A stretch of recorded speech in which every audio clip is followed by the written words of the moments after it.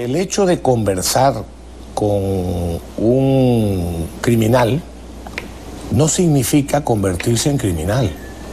El hecho de defender a una persona, aun cuando muchos consideren que sea culpable o que resulte finalmente que sea culpable, no descalifica al defensor. O sea, lo que hacían era defender al Perú para que no le atribuyeran al Estado peruano cosas que eventualmente el Estado peruano no tenía por qué responder. Pero... lo que básicamente nos ha dicho Anel Townsend es que la señora Maraví ha tratado de defender a un Estado violador de derechos humanos, que era el Estado peruano en la década del Fujimori Correcto. Y yo en este momento, yo en este momento tomo la misma posición que, que Milagro Maraví.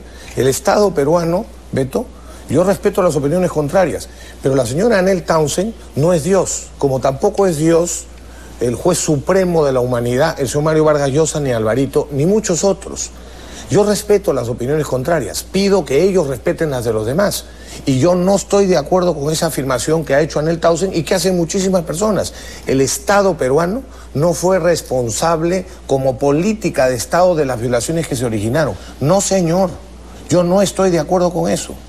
Así que, y no está probado. Está acusado el Perú y está sancionado, pero no es, no es necesariamente así.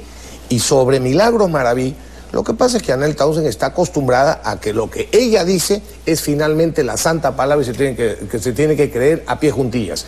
Ella, en su comisión investigadora, acusó seguramente a Milagros Maraví. Muy bien, pero resulta que en las investigaciones posteriores se determinó la más absoluta inocencia de Milagros Maraví.